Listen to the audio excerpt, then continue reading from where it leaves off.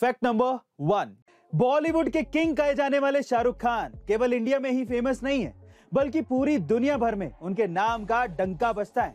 कैसे? मैं आपको बताता हूँ। हाल ही में एक इकोनॉमिस्ट अश्विनी देश पांडे ने अपने ट्विटर हैंडल पर यह शेयर किया कि इजिप्ट में उन्हें किसी अर्जेंट काम के लिए जाना था। जिसके लिए उन्हें एक ट्रैवल इजिप्शियन एजेंट को पैसे ट्रांसफ़र करने थे। लेकिन पैसे ट्रांसफ़र करने में दिक्कत आ रही थी। तभी उस एजेंट ने कहा कि आप शाहरुख खान के देश से हो ना? मुझे आप पर पूरा भरोसा है। मैं अभी बिना पैसे के ही आपकी बुकिंग कर देता हूँ। आप बाद में मुझे पेमेंट कर देना। और आप उनके देश से ही हैं। इसीलिए मुझे आप पर पूरा भरोसा है कि आप पेमेंट जल्दी कर देंगी। गाइज़ आपको शाहरुख खान की इस पॉपुलैरिटी के बारे में क्या कहना है? कमेंट सेक्शन में ज़रूर लिखेगा।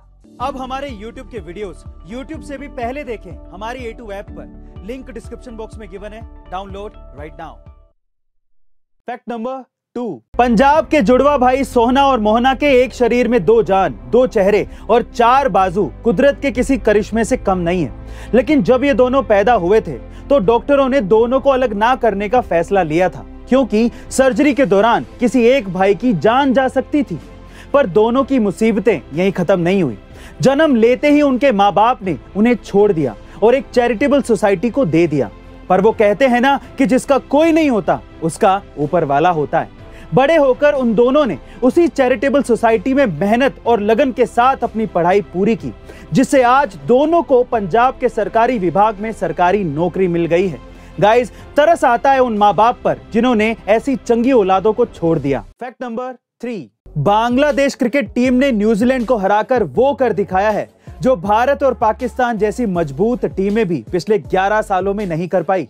जी हाँ गाइस न्यूजीलैंड से 32 टेस्ट मैच भिड़कर सभी मैच हारने वाली बांग्लादेश क्रिकेट टीम ने पहली बार न्यूजीलैंड को उसी की धरती पर किसी टेस्ट मैच में हराया है। इसके साथ ही अपनी धरती पर लगातार 17 मैच से अजय चली आ रही न्यूजीलैंड की टीम को बांग्लादेश जैसी टीम से मुँह की खानी पड़ी। दरअसल, बांग्लादेश की यह जीत इसलिए भी खास हो जाती है क्योंकि उसने उस टीम को हराया है, जिसने पिछले साल ही वर्ल्ड टेस्ट चैंपियनशिप का खिताब अपने नाम किया था। Fact number four. स्पाइडरमैन की नई फ़िल्म नोवे होम। लोगों का दिल तो चुरा ही रही लेकिन उसके साथ साथ उनके बैंक अकाउंट से पैसे भी चुरा रही जी हाँ गाइस आप ठीक सुन रहे हैं? दरअसल, साइबर सिक्योरिटी रिसर्चर्स ने शुक्रवार को लोगों को यह चेतावनी दी है कि शातिर हैकर्स नई फ़िल्म स्पाइडरमैन नोवे होम के नाम से बनाई गई वायरस फ़ाइल के ज़रिए लोगों के बैंक डिटेल चुरा रहे हैं। कैस्पर स्काई रिसर्चर्स ने बताया कि फ़िल्म के प्रीमियर से पहले ही धोखेबाजों ने गतिविधियों को तेज किया और दर्शकों के बैंक डिटेल्स को चुराने के लिए फिशिंग वेबसाइट्स और वायरस की मदद ली और कई लोगों को करोड़ों रुपयों की चपत लगा दी। तो गाइज़ आप भी सावधान रहें और स्पाइडरमैन की इस नई फ़िल्म को ऐसी किसी लिंक से डाउनलोड ना करें। फैक्ट नंबर फाइव जब आज से 21 साल पहले, साल 2000 में, लारा दत्ता ने इंडिया के लिए मिस यूनिवर्स का खिताब जीता था, तब हरनाथ संधू महज एक साल की थी।